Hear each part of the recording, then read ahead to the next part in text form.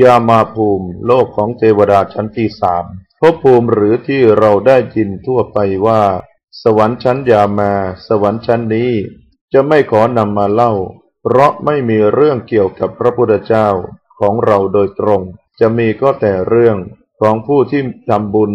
รักษาศีล ให้ทานบำเพ็ญสมาธิแล้วไปเกิดบนสวรรค์ชั้นนี้ ว่ากันว่า อายุของเทพชั้นนี้ มีสองพันปีทิพย์เท่ากับสิบสี่โกดห้าล้านปีของมนุษย์ เรื่องของเทวดาชั้นนี้จึงขอผ่านไป ดุสิตาภูมิ โลกของเทวดาชั้นที่สี่ดุสิตาภูมิ หรือที่เราได้ยินคุ้นหูกันโดยทั่วไปว่า สวรรค์ชั้นดุสิตเมื่อก่อนจะตรัสรู้พระพุทธเจ้ายังเป็นพระโพธิสัตว์ก็สถิตอยู่บนสวรรค์ชั้นนี้ มีชื่อว่า เสตเกตุเทพบุตร แล้วเสด็จอุบัติในโลกมนุษย์ เป็นเจ้าชายสิทธัตถะตรัสรู้เป็นพระพุทธเจ้าในที่สุด พระพุทธมารดาก็เสด็จอยู่ชั้นดุสิตนี้เช่นกัน มีข้อสังเกตว่า เมื่อครั้งพระพุทธเจ้า ไปจำพรรษาบนสวรรค์เพื่อเทศโปรดพระพุทธมารดา แม้พระพุทธมารดาอยู่ชั้นดุสิตแต่พระองค์ก็เลือกที่จะจำพรรษา บนสวรรค์ชั้นดาวดึงส์ เพราะพระองค์ทรงมีเมตตาต่อพระอินทร์เหมือนสามเณรผู้อุปถากยามเมื่อพระพุทธองค์เจ็บป่วยไม่สบาย พระอินทร์จะมาอุปถาก หากพระองค์เสด็จไปจำพรรษา บนสวรรค์ชั้นดุสิตพระอินทร์ตลอดจนเทวดา ซึ่งเป็นบริวารของพระอินทร์จะไม่สามารถขึ้นไปฟังเทศที่สวรรค์ชั้นดุสิตได้ เป็นธรรมดาว่าเทวดาที่อยู่ในสวรรค์ชั้นต่ำ จะขึ้นไปสวรรค์ชั้นสูงกว่าไม่ได้ แต่หากพระองค์ไปจำพรรษาบนสวรรค์ชั้นดาวดึงเทวดาในสวรรค์ชั้นสูงกว่า ก็สามารถลงมาฟังเทศได้ หากจะเปรียบเทียบ ก็เหมือนพระเจ้าแผ่นดิน จะเสด็จไปบ้านนอกบ้านนา ก็ย่อมได้ แต่ชาวนาจะเข้าวังก็คงยากต้องได้รับพระบรมราชานุญาตก่อน นอกจากนั้น พระศรีอริยเมตไตรที่จะมาตรัสรู้ เป็นพระพุทธเจ้าต่อจากพระพุทธเจ้าของเราในพัทธรกับนี้ ก็สถิตอยู่บนสวรรค์ชั้นดุสิตนี้ด้วย ยังมีเรื่องที่จะทำความเข้าใจเกี่ยวกับคำว่า พัทธรกับ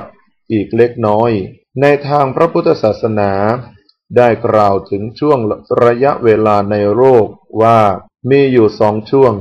แต่ละช่วงจะมีพระพุทธเจ้ามาตรัสรู้มากน้อยแตกต่างกันไป คือ 1. ช่วงระยะเวลาที่โลกเสื่อม 2. ช่วงระยะเวลาที่โรคเจริญ ช่วงระยะเวลาเจริญ เรียกว่าพัทรกับยุคที่เราอยู่ในปัจจุบันถือว่า อยู่ในยุคพัทรกับคือยุคข้างฝ่ายเจริญ ในพัทรกับนี้จะมีพระพุทธเจ้าตรัสรู้ทั้งหมดห้าพระองค์คือหนึ่งพระกกุสันทพุทธเจ้าได้มาตรัสรู้แล้วสอง พระโกนาคมณพุทธเจ้า ได้มาตรัสรู้แล้วสามพระกัสสปะพุทธเจ้า ได้มาตรัสรู้แล้วสี่พระโคตมะพุทธเจ้า คือพระพุทธเจ้าของเราองค์ปัจจุบัน ที่เรานับถือพระพุทธศาสนา เข้าวัดฟังธรรมทำบุญให้ทาน รักษาศีล ก็คือนับถือคำสอนของพระโคตมะพุทธเจ้าพระองค์นี้ ศาสนาของพระองค์จะมีอายุ ประมาณห้าพันปี หลังจากนั้นจะเป็นยุคมิคสันยีคือยุคที่มนุษย์มองกันเป็นเพียงสัตว์ชนิดหนึ่ง สุดแต่ว่าใครจะมีกำลังเขียนฆ่าทำลายล้างกันได้ ช่วงนี้เป็นช่วงว่างเว้นจากพระพุทธเจ้า เมื่อโลกก้าวเข้าสู่ภาวะปกติ ต่อจากนี้จึงจะมีพระพุทธเจ้ามาตรัสรู้อีกองค์ คือ พระศรีอริยเมตไตรยพุทธเจ้า ห้าพระศรีอริยเมตไตรยพระพุทธเจ้า พระพุทธเจ้าพระองค์นี้ยังไม่ได้มาตรัสรู้ ปัจจุบันพระศรีอริยเมตไตรยังสถิตอยู่สวรรค์ชั้นดุสิตจะมาตรัสรู้ในภายภาคหน้าเป็นองค์ที่ห้าและเป็นพระพุทธเจ้าองค์สุดท้ายในพัทรกับนี้ ในยุคของพระองค์จะเป็นยุคที่ผู้คนอยู่เย็นเป็นสุข ไม่มีโรคภัย ไม่มีโจรผู้ร้าย ผู้ทำบุญให้ทาน รักษาศีลเท่านั้นจึงจะมาเกิดในยุคสมัยของพระองค์ นิมานรติภูมิ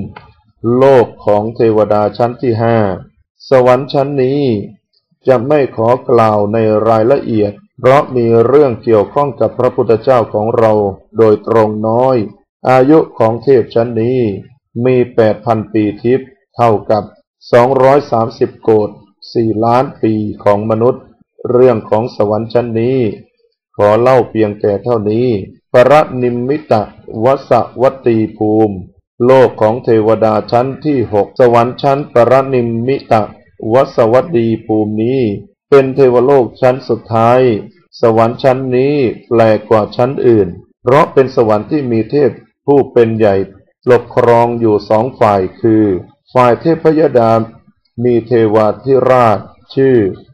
พระปรนิมมิตะเทวราช เป็นผู้ปกครองเหล่าเทพทั้งหลาย ฝ่ายมารมีพยามาราธิราช ชื่อ เท้าปรนิมมิตะวสวัตีมาราธิราช เป็นผู้ปกครองเหล่าเทพฝ่ายมารปรนิมมิตะวสวัตีมาราธิราช คนทั่วไปรู้จักกันในนามพยาวสวัสดีมาน เราทั้งหลายล้วนรู้จักมารท่านนี้ดี ในฐานะพยามารผู้ตามขัดขวางการบำเพ็ญบารมี ของพระพุทธเจ้ามาโดยตลอด จากพุทธประวัติตอนพระพุทธเจ้าประจนนาน ซึ่งกลายมาเป็นพระพุทธรูปปางมารวิชัย ที่คนไทยเรานิยมสร้างกัน พระองค์มีพญาช้างที่มีกำลังมหาศาล ชื่อครีเมฆ เป็นพาหนะคู่ใจ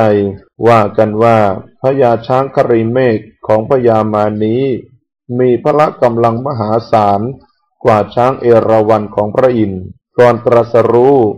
พระพุทธเจ้าได้ประจนพระยาวสวัตดีมานี้ แต่จะมีใครที่รู้ว่าพญามารท่านนี้ เคยบำเพ็ญบุญมามาก และได้ตั้งความปรารถนาพุทธภูมิ คือ ตั้งความปรารถนาที่จะเป็นพระพุทธเจ้าในอนาคตด้วย โพธิอมาตอดีตชาติพยามารเมื่อครั้ง เมื่อครั้งเกิดเป็นมนุษย์พยาวสวัตีมารมีชื่อว่าโพธิอมาตเป็นอมาตผู้เป็นอมาตผู้ใหญ่ของพระเจ้าแผ่นดินพระองค์หนึ่งโพธิอมาตพร้อมทั้งชาวเมือง ถูกพระเจ้าแผ่นดินห้าม ไม่ให้ทำบุญ กับพระกัสสปะพุทธเจ้า ถ้าใครขืนทำจะมีโทษถึงถูกประหารชีวิต โทษที่อมาตนั้นมีศรัทธาอย่างแรงกล้า แม้จะถูกประหารชีวิตก็ยอม ขอเพียงได้ถวายทานแก่พระกัสสปะพุทธเจ้า ด้วยมาคิดว่า การที่พระพุทธเจ้าอุบัติขึ้นในโลกนั้นเป็นเรื่องยาก การที่จะพบเห็นพระพุทธเจ้านั้นก็เป็นเรื่อง ก็เป็นเรื่องยากยิ่ง และบัดนี้พระพุทธองค์ได้เสด็จมาถึง เมืองที่ตนอยู่ แล้วการมีโอกาสถวายทานแก่พระองค์ จึงชื่อว่าเป็นลาภอันประเสริฐโพธิอมาตจึงยอมสละชีวิต เพื่อให้ได้ถวายทาน ด้วยความตั้งใจแม้สละชีวิตก็ยอม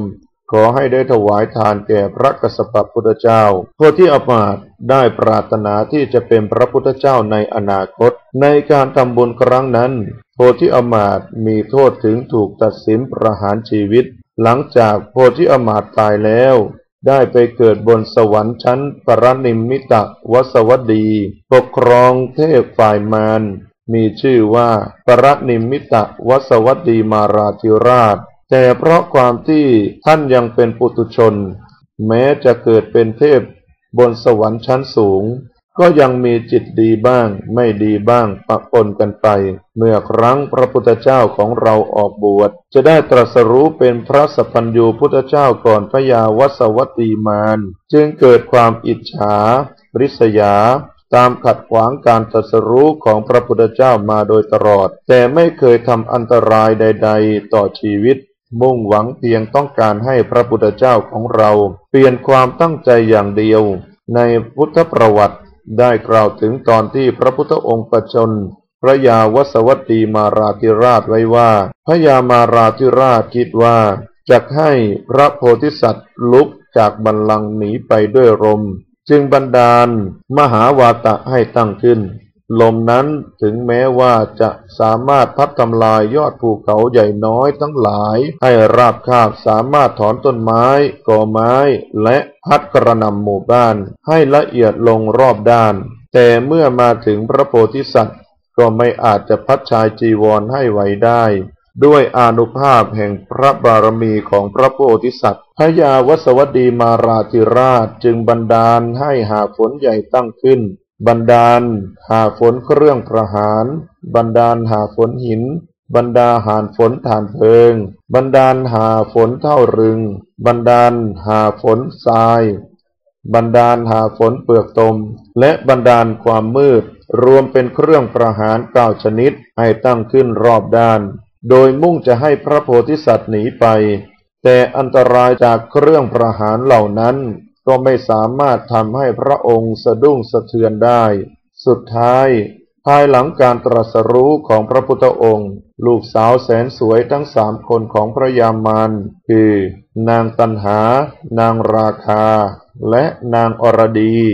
ได้อาสามาฟ้อนรำยั่วยวน เบื้องพระพักหวังจะให้พระองค์เลิกล้มความตั้งใจ แต่ก็ไร้ผล ทำให้พระยามาราธิราชกลับไป ด้วยความเศร้าโศกเสียใจเป็นอย่างมาก รอคอยโอกาสอยู่ในวิมานบนสวรรค์ของตน ข้อความดังกล่าว บุรพาจารย์ภายหลังได้นำมาร้อยเรียงเป็นบทสวด ที่เราเรียกกันว่า บทสวดถวายพรพระ หรือบทพาหุง ดังปรากฏข้อความ ในคาถาท่อนแรกว่าพาหงสหัสสมปินิมมิตสาวุทันตังคลีเมกรัง อุทิตโคลสเสนมารังทานาติธรรมวิธินาจิตวามุนินโตตันเตสสาปวัตุเตจยมังคลานิปางเมื่อพระยามาเนรมิตแขน ถืออาวุธครบตั้งพันแขนขับขี่ช้างครีเมฆ